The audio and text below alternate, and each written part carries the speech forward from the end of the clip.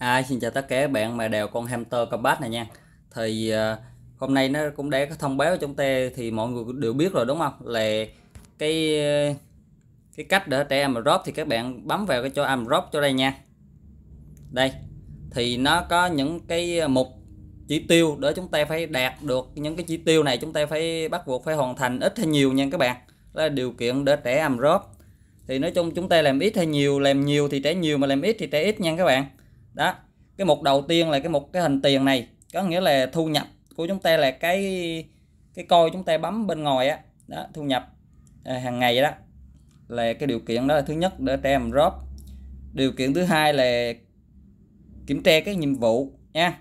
Nhiệm vụ telegram hoặc là youtube hay là cái gì đó. Vân vân vân vân. Thì chúng ta kiểm tra hàng ngày đó nha.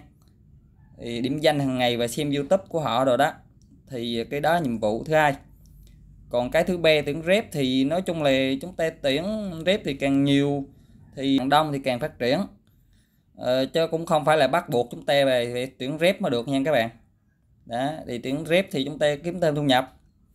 Còn cái điều điều kiện thứ thứ thứ tư là cái thành tích của chúng ta đạt được nó cũng trẻ em drop nha các bạn.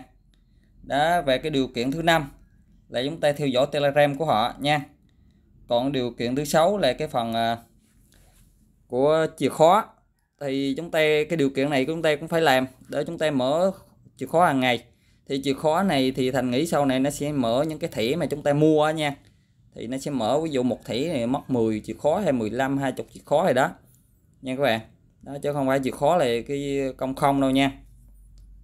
Thì cái điểm đầu tiên là điểm hàng ngày, điểm này nè, nha. Nó vẫn tính cho chúng ta. Còn chìa khóa là chúng ta làm nhiệm vụ chỗ này nè. Đó, mở chìa khóa trên này nha. Thì uh, chìa khóa thì thành nghĩ là nó mở chỗ này vào phần đèo đây nha. Thì các bạn vào cái chỗ ờ, cái phần cuối đây nha. Đây nè thì những cái thẻ mà chúng ta mà để sở hữu nè đây nè. Đó thì thành nghĩ là chìa khóa nó sẽ mở những cái thẻ này ra nha. Thẻ mà chúng chúng ta đã được sở hữu nha các bạn thì những ai chưa đèo cái con hamster combat này thì thành đỡ đường link dưới phần mô tả mình luôn các bạn đèo nha. Cái con này lượng người dùng nó khủng khiếp lắm nha các bạn. Đó. Lượng người dùng nó là tính ra về tiền điện tử thì lượng người dùng của nó là nhiều nhất thế giới luôn nha các bạn.